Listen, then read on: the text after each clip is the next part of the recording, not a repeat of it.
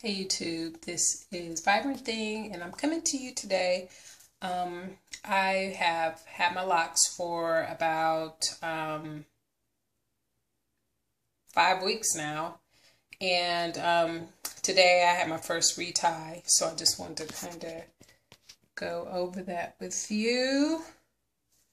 My consultant did a really good job although I don't really like the freshly retie look um, just because my hair is a little bit thinner.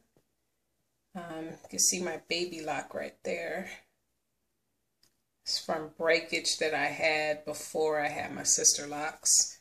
Um, but I hope you can see this. Uh,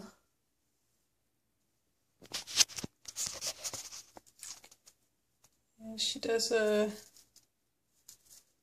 really good job. It looks as clean as it did the day I got it installed. Um, but I really, really love my Sisterlocks. Um, I don't usually like to wear it like with the part down the middle just because um, I have a long face. And so I usually do a part right here and pull it over, but because it's just gotten retightened, it kind of wants to just lay this way. So I'm just going to leave it alone for a couple of days. Let it do what it wants to do. Hopefully you can see this.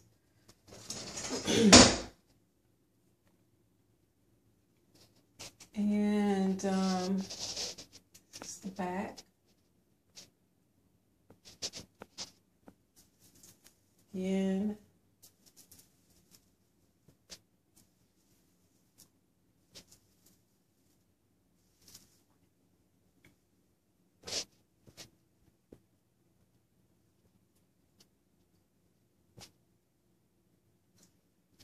So, um, anyways, that is all for now. Um, I washed my hair three times between the time I got it installed and the time I got my retightening.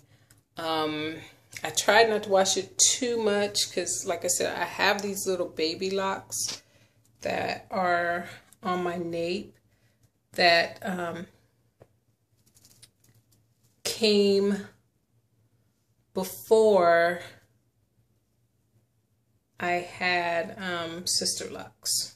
So thankfully, my consultant was um, skilled enough to lock them, but they did unravel. Um,